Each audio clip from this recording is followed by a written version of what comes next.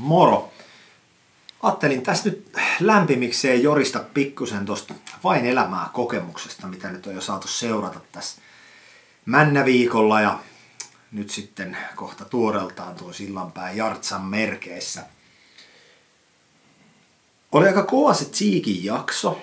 Sehän tiedettiinkin jo etukäteen, että Jarell on melko fanaattinen seurakunta, ketkä häntä dikkailee ja ja, ja oli tosi hienoa seurata tuolla interwebsissä näin niin kuin reaaliajassa, että miten jengi reagoi niihin asioihin. Ja se kyllä kosketti ja hienoa, että on tällaista fanituskulttuuria isollaan tänä päivänä.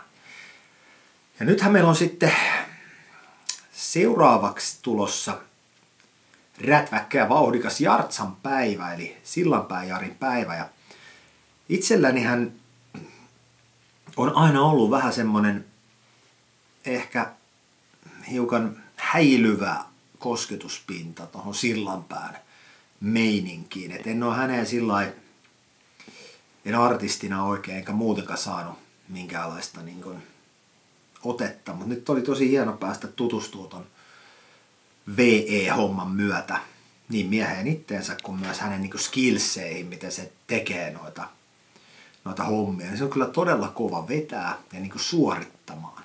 Ja sillä on sellaista niin old school, no ei sitä voi oikein sanoa muuta kuin estraaditaiteilijan niin kuin taitoa ihan hitosti. Et sillanpää on kyllä todella kova siinä, mitä se tekee. Pystyy vetämään ihan mitä vaan, ihan miten vaan ja lähtee hienosti.